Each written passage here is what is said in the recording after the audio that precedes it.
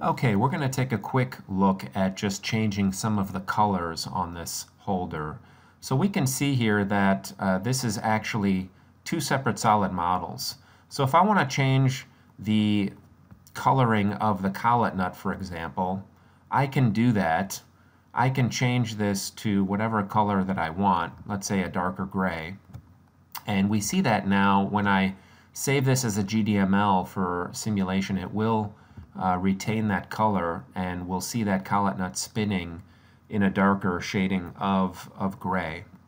Another way to pick things is, you know, you can pick an individual face. So if I wanted to just pick on a face and grab something, I can say, let's grab, uh, let's grab a, well, let's grab that same slightly uh, darker shade of gray.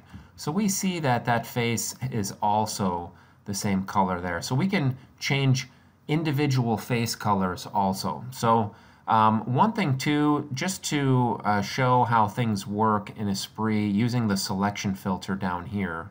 So if I move my mouse over this icon, you'll see this is the selection filter. And then we have these different types of uh, categories. So geometry, bodies, curves. What I'm going to do here is just click on bodies. So I basically turn that off. So now I can't pick anything that's solid. I can't pick anything. So as I'm clicking and zooming or uh, windowing on stuff, nothing is happening. But now what I want to do is add just the face type. So now when I window in, you'll see that I'm able to grab different face elements by using the window, the click and drag method. And you'll see that by clicking on the left and going to the right, it includes anything that is touching the box. What's interesting about this is if I go the other way, from the right, I mean, yeah, from the right to the left, you're going to see that the box, any, the only thing that's going to be highlighted is going to be what's completely inside of the box. So there's the differences there. So you can control what you want to do here. So if I want to change everything, I can right click and say, let's go uh, to light gray, and we're back to light gray for everything. Or I can go to an F4 and zoom in on the collet nut. And again, if I go this way, I'll get this guy here.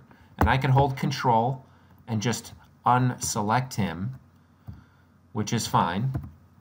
Or what I could do is just start here and go from the right to the left, and that achieves the same thing.